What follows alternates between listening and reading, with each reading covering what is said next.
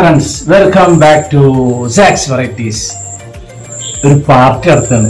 അപ്പൊ അതിൽ നൂഡിൽസിന്റെ ഒരു വെറൈറ്റി ആയിട്ടാണ് ഉണ്ടാക്കിയിട്ടുള്ളത്. ബാക്കി എല്ലാതും ഞാൻ മുമ്പ് ചാനൽ ഇട്ടതാണ്. ചിക്കൻ സിക്സ്റ്റി ഫൈവ് ഉണ്ട് പിന്നെ ചിക്കൻ പോപ്കോൺ ഉണ്ട് പിന്നെ ബീഫ് കുറുമുണ്ട് നെയ്ച്ചോറുണ്ട് അങ്ങനത്തെ ഐറ്റംസ് അപ്പൊ ഈ ഒരു ഒരു വെറൈറ്റി ആയിട്ടാണ് ഈ നൂഡിൽസ് അപ്പൊ ഇതുപോലെ നിങ്ങൾ ഉണ്ടാക്കി നോക്കുക.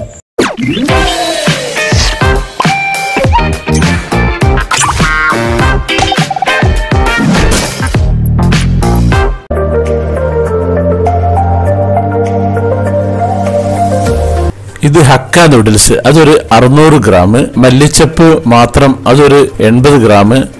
അത്യാവശ്യം വലുപ്പമുള്ള രണ്ട് വലിയ ഉള്ളി പിന്നെ ഒരു വലിയൊരു ക്യാപ്സിക്കം പിന്നെ ഒരു നാല് കോഴിമുട്ട ഒരു നാല് പച്ചമുളക് അത് എരിവിനനുസരിച്ചിട്ട്.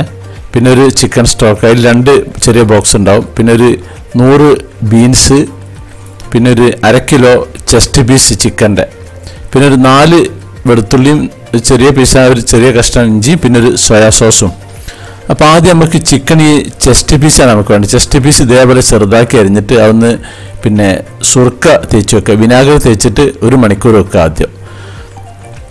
അതിനുശേഷം എന്ത് ചെയ്യുക? ചെറിയ നാല് വെളുത്തുള്ളി കഷ്ണം ഒരു പച്ചമുളകും ഒരു ഇഞ്ചിയും ഇതുപോലെ വെള്ളം കൂട്ടാതെ അരച്ചിട്ട് ആ ഒരു മണിക്കൂർ നമ്മൾ തേച്ച് വെച്ച ആ ചിക്കൻ പീസ് ഉണ്ടല്ലോ ചെസ്റ്റ് പീസ് അതിൽ പുരട്ടി അതും പിന്നെ ഒരു മണിക്കൂർ ഇതേപോലെ പുരട്ടി വെക്കുക. നല്ലോണം ഉപ്പ് ഇടണം. പാകത്തിന് ഉപ്പ് ഇട്ടിട്ട് വെക്കുക. ശേഷം ഇതൊരു ഒരു നോൺ സ്റ്റിക്ക് പാത്രത്തിൽ വെള്ളം കൂട്ടാതെ ജസ്റ്റ് ഒന്ന് വേവിച്ചെടുക്കുക. അപ്പോൾ അത് വേവിച്ച് റെഡി ആയിട്ടുണ്ട്. നല്ലോണം ഉപ്പൊക്കെ പാത്രത്തിൽ നോക്കണം. ശേഷം അത് മാറ്റി വെക്കുക. അപ്പോൾ അതിൽ വെള്ളം ഉണ്ടെങ്കിൽ ആ വെള്ളം അങ്ങോട്ടേക്ക് കളയാതെ അത് സൂക്ഷിച്ച് വെക്കുക. ഇതിന്റെ വെള്ളം സ്വല്പമുള്ളൂ ബാക്കി ബാക്കി കംപ്ലീറ്റ് റെഡിയാണ് അപ്പോൾ ഇതിൽ തീരെ വെള്ളം ഉപയോഗിക്കുകയേ ചെയ്യരുത്. ഇതുപോലെ അങ്ങോട്ട് വേവിച്ചെടുത്ത് വെക്കുക. ഒരു നാല് കോഴിമുട്ട അടച്ചിട്ട് അത് ഒരു ഇതേപോലെ തന്നെ നോൺ സ്റ്റിക്ക് പാത്രത്തിൽ കുറച്ച് എണ്ണ വെച്ചിട്ട് അത് സൺഫ്ലവർ ഓയിലായിരിക്കും നന്നാവും എല്ലാത്തിനും. അത് ഇതിലേക്ക് ഇട്ടിട്ട്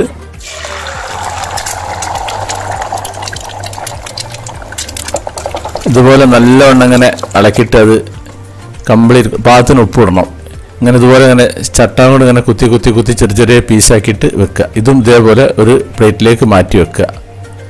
ഇനി നമ്മളെ ഹക്ക നൂഡിൽസ് ഉപയോഗിക്കണം. ഹക്ക നൂഡിൽസ് ആദ്യം ഇങ്ങനെ നല്ലോണം പാക്കറ്റൊക്കെ പൊളിച്ച് റെഡിയാക്കി വെക്കുക. ഇതൊരു പിന്നെ ഒരു പാക്കറ്റിൽ രണ്ടെണ്ണം വെച്ചിട്ടില്ല ഒന്നര ഒന്നര പാക്കറ്റ് എടുത്തിട്ടില്ല അത് അറുന്നൂറ് ഗ്രാം ഒരു പാക്കറ്റ് നാനൂറ് ഗ്രാമാണുള്ളത് ഹക്ക നൂഡിൽസ് അത് ഇതേപോലെ ഞാൻ ഈ ഒരു കമ്പനിയാണ് ഞാൻ ഉപയോഗിച്ചിട്ടുള്ളത്.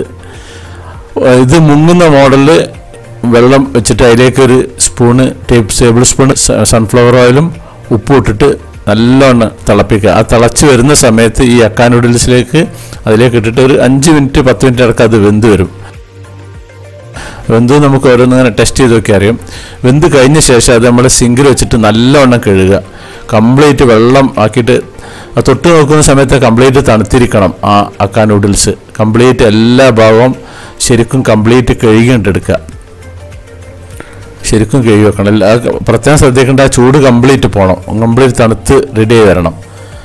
അങ്ങനെ അത് ഊറ്റി കഴിഞ്ഞ ശേഷം പിന്നെ എന്താ ചെയ്യേണ്ടത് വെച്ച് കഴിഞ്ഞാൽ ഒരു പരന്നൊരു പ്ലേറ്റിലേക്ക് അത് മാറ്റി വെക്കണം. ഞാനത് രണ്ട് പ്ലേറ്റിലേക്ക് മാറ്റി അതിന് ശേഷം അതിന്റെ മുകളിൽ സൺഫ്ലവർ ഓയിൽ ഒഴിച്ചിട്ട് ജസ്റ്റ് ഒന്ന് എല്ലാ ഭാഗവും ഇങ്ങനെ ടച്ച് ചെയ്ത് വെക്കുക. എല്ലാ ഭാഗവും ഇതുപോലെ കൈകൊണ്ട് മിക്സ് ചെയ്ത് വെക്കുക. ഇനി നമ്മൾ ഇതിനെ മിക്സ് ഉണ്ടാക്കാൻ പോവാണ്. ഇതേപോലെ തന്നെ സൺഫ്ലവർ ഓയിൽ സ്വല്പം ഒരു ഒഴിച്ചിട്ട് അതിൽ ഈ പൊടിപൊടിയാക്കി അരിയുക ഈ വലിയ ഉള്ളി. പൊടിപൊടിയായി ജസ്റ്റ് ഒന്ന് വാടി വന്നാൽ മതി. അധികം വാടേണ്ട ആവശ്യമില്ല.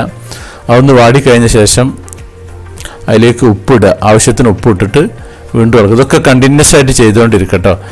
വേറൊരു നാല് വെളുത്തുള്ളി ചെറുതാക്കി അരിഞ്ഞാണ്. ഇത് ആ മല്ലിച്ചപ്പിന്റെ തണ്ട് മാത്രം ചെറുതാക്കി അരിഞ്ഞതാണ്. ഇല വേറെ മാറ്റി വെച്ചിട്ടുണ്ട്. ശരിക്കും കംപ്ലീറ്റ് അതിലേക്ക് ആ ചിക്കൻ സ്റ്റോക്കിന്റെ അര പെട്ടീന്റെ ഒന്ന് മാത്രം എടുക്കുക. രണ്ടെണ്ണം ഉണ്ടായത് ഒന്ന് മാത്രം എടുക്കുക. ബീൻസ് ഇതേപോലെ ചെറുതാക്കി അരിയണം. അധികം വലുതായി പോയത് ഒരിക്കലും. വലുതായതിന്റെ ടേസ്റ്റ് മാറിപ്പോവും. ഇതുപോലെ അതും കംപ്ലീറ്റ് അതിലിട്ടിട്ട് ഇളക്കുക. അര സ്പൂ ടേബിൾ സ്പൂണ് കുരുമുളക് പൊടി ഇടുക. പിന്നെ ചിക്കൻ ആ വേവിച്ചത്. അതിന്റെ വെള്ളം തീരെ ഉപയോഗിക്കാതെ ഇതിലേക്ക് ഇടരുത്. ഇത് ജസ്റ്റ് വെള്ളമില്ലാത്ത ഉണ്ടാക്കേണ്ടത്. പിന്നെ ക്യാപ്സിക്ക് അതുപോലെ ചെറുതാക്കി പൊടിപൊടിയാക്കി അരിഞ്ഞ് അതും ഇടുക. ബീൻസിന്റെ ഒക്കെ വലുപ്പത്തിൽ തന്നെ അതും അരിഞ്ഞിടുക.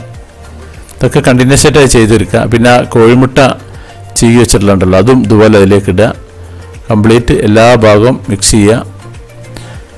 അതിന് ശേഷം ഇതിലേക്ക് ഒരു മുക്കാൽ ടേബിൾ സ്പൂൺ പഞ്ചസാര ഇടുക. എന്നിട്ട് നല്ലവണ്ണം വീണ്ടും ഇളക്കുക. ഉണ്ട്. അതിനുശേഷം ഒരു ടേബിൾ സ്പൂണ് സോയാ സോസ് ഉപയോഗിക്കുക.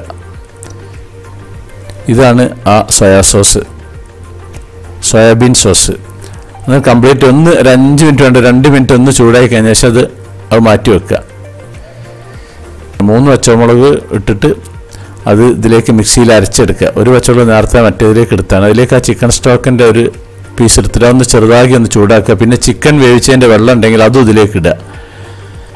സ്വല്പം നല്ലോണം ചെറുത് ചെറിയൊരു ചൂടിലാക്കിയിട്ട് കംപ്ലീറ്റ് ആ കട്ട ഉടഞ്ഞിരിക്കുക ഇനി നമുക്ക് പിന്നെ ദമ്മിടാൻ പോകണം ആദ്യം നേരത്തെ ഉണ്ടാക്കിയ മസാലിനെ മൂന്ന് പാർട്ടാക്കി വെക്കുക. അതിലത്തെ ഒരു പാർട്ട് ഇതിന്റെ ഏറ്റവും അടിയിൽ കുറച്ച് വിതറി കഴിഞ്ഞ ശേഷം ഈ അക്ക നൂഡിൽസിനെ രണ്ട് പാർട്ടാക്കി വെച്ചിട്ടുണ്ട്. അതിൽ ഹാഫ് ഇതിലേക്ക് വെക്കുക. ഹാഫ് കംപ്ലീറ്റ് അതിൽ വെച്ചിട്ട് ഇതിന്റെ മുകളിലാണ് ഇനി നമുക്ക് മിക്സ് ചെയ്യാനുള്ളത്.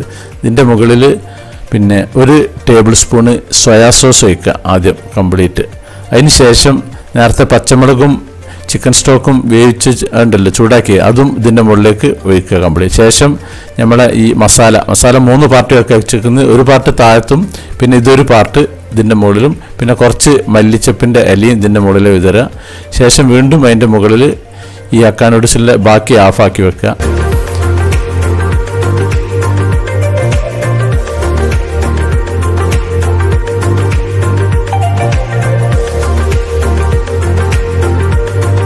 വീണ്ടും ഇതിന്റെ മുകളിൽ ഈ നേരത്തെ ചെയ്ത അതേ പ്രക്രിയ ചെയ്യുക. ഇത് പച്ചമുളകും ഇതും വെച്ച് ഇതിലേക്ക് ആ ചിക്കൻ വേവിച്ചതിന്റെ വെള്ളം സ്വല്പം ഉണ്ടെങ്കിൽ കുറച്ചും കൂടി നന്നാവും. എന്നിട്ട് അതിന്റെ മുകളിൽ നേരത്തെ ചെയ്ത എല്ലാ കലാപരിപാടികളും ചെയ്യുക. ഇതിപ്പോൾ ലാസ്റ്റ് ഉള്ള മസാലയാണ്. അതും വെഞ്ഞ ശേഷം ഒരു അഞ്ച് മിനിറ്റിന്റെ എട്ട് മിനിറ്റിനായിട്ടുള്ള ചെറിയ തീയിൽ അടുപ്പിൽ വെച്ചിട്ട് ഒന്ന് അടച്ചു വെക്കുക. ഒന്ന് ദമ്മ് കിട്ടാൻ വേണ്ടിയിട്ട്. ശേഷം തുറക്കുക. പിന്നെ നല്ലോണം അങ്ങോട്ട് മിക്സ് ചെയ്യുക. ശരിക്കും അങ്ങോട്ട് മിക്സ് ചെയ്തിട്ട് ആ വൈറ്റ് നൂഡിൽസിന് ഒരു കളർ മാറുന്ന വരെ അങ്ങനെ കംപ്ലീറ്റ് എല്ലാ ഭാഗവും വെക്കുക.